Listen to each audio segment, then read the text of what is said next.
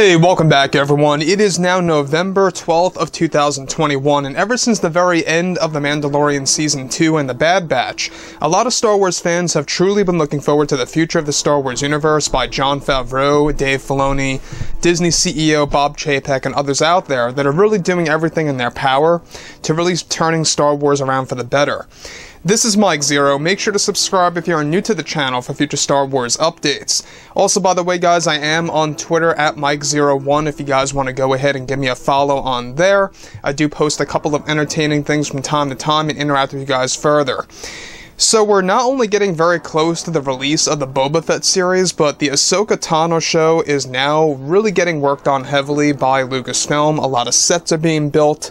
Rosario herself is being, beginning to train for the role of Ahsoka Tano, and she, by the way, is going to be doing a lot of her own stunts in the series, so that's going to look very authentic to say the least. We also have other shows that are finally coming to a close when it comes to production, like the Star Wars Andor show. But the one that the people are looking forward to the most is the Kenobi TV series, which, by the way, they are planning to market that show in the coming weeks in order to kind of get things rolling.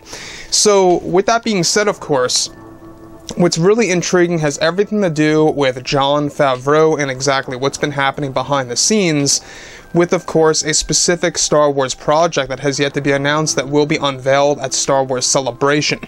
Now, mind you, that Celebration of 2022, it is going to be labeled as the biggest celebration under Disney's wing since, of course, forever. You know, since uh, whenever they bought Lucasfilm back in 2013 or so. Now, this really is a big deal because it's going to have not only the unveiling of the roadmap of the franchise, but also new books, novels, comics, and video games that are going to tie all together. I'm sure a lot of you out there really like that Eclipse trailer.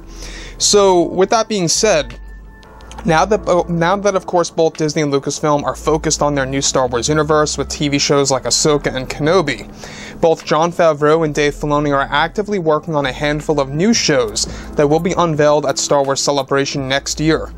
It's described that currently creator Jon Favreau has been making key changes to the Star Wars brand behind the scenes and recently made a big shift with one of the projects.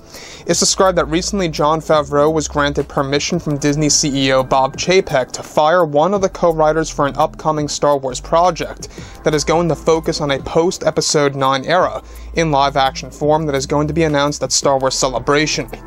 Now, this co-writer is said to have been pushing for many of Kathleen Kennedy's beliefs and concepts to be used for Favreau's new show, that is going to create this new era that is set to take place nearly a decade after Episode 9.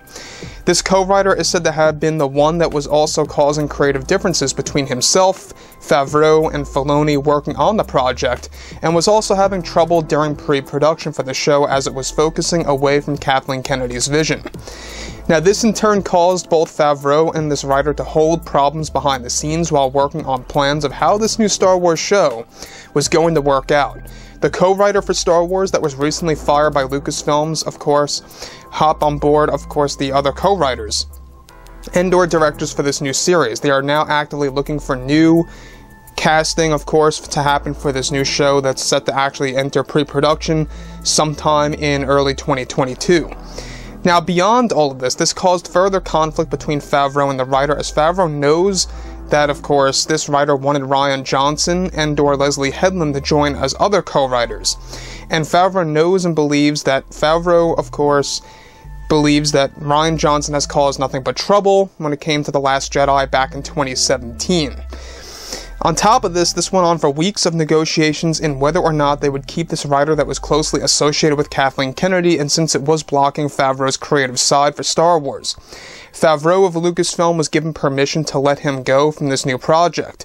Currently, Favreau and Filoni are looking for new co-writers to work on this new Star Wars TV series alongside themselves, and that the series is still planned to begin shooting sometime at the end of 2022 and will be announced at Celebration next year. The series is set to focus on a couple of new Force sensitive characters and their connections to a new Jedi Order that has been constructed. This most likely relates to what is being done in the sequel series that will showcase Rey's Jedi Order with the aid of the Force Ghost from the past.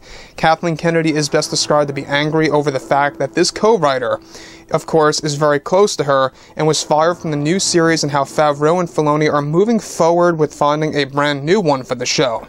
Bob Chapek is also getting excited to announce that this is, of course, going to be the big reveal at Celebration to the entire fandom by unveiling the official title and plot of the series. Now, here's the thing about this new show, in case you guys did not know.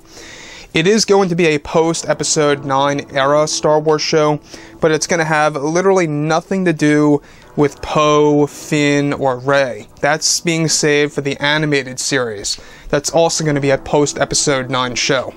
But this is a live action one and is focusing only and strictly on brand new characters, throwing us into yet another new era of the franchise. Now, let me just say this, I think that that is perfect. I think that's something that fans have been waiting for, even though a lot of fans, I believe, are not all that crazy about the new Jedi Order being built by Rey, because that is the direction that they're going in.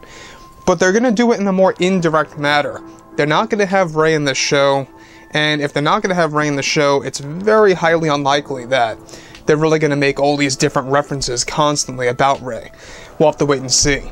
Now, the other thing about all of this is the fact that Favreau and this co-writer were going through a lot of creative differences. We've heard this many times that Favreau had a lot of co-writers for some of the new Star Wars shows that were greenlit a very long time ago, mind you.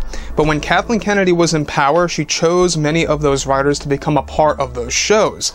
And so they've only been creating problems and setbacks and a lot of issues in between when it came to either pre-production or principal photography for other shows, and a lot of things happening behind the scenes by other Lucasfilm employees, like, you know, visual artists, concept artists, editors, whatever have you. Moving on from that, though, the fact that they are prepping a episode 9, post episode 9, I should say, TV show, I think it's brilliant. We all saw how brilliant the Eclipse trailer was, even though that's just a video game. It is a cinematic, and don't expect that video game to drop until 2024. It's a ways out.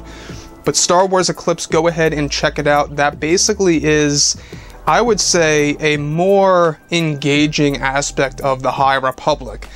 Now, myself, I could never get into the books of the High Republic nor the comics. I just never found them engaging or interesting. But by the looks of Eclipse, that really does give you a different side of that era. You can see that they're saving the best for that era for either TV shows, movies, or video games. As far as the books and the comics go, it just seems very off and very odd and just not Star Wars.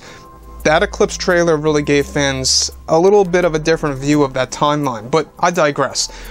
The thing about this post episode 9 series that will be unveiled at Celebration, I'm actually glad that this co writer was dropped because you can obviously tell given that he was trying to get Rian Johnson and Leslye Headland on board as other co writers for different episodes.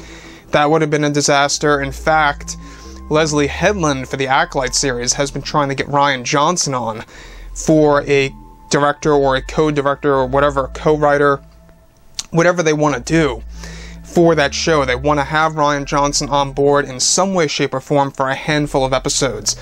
I'm not quite sure, you know, how the fans are going to take that. Obviously, a lot of fans are going to be very off put by that. But, anyways, you know, let me know what you think about all of this below in the comments. And if you guys did enjoy the content for today, do make sure to drop a thumbs up on this video to support the channel. I thank you all so very much for the kind support, and I'll catch you guys next time.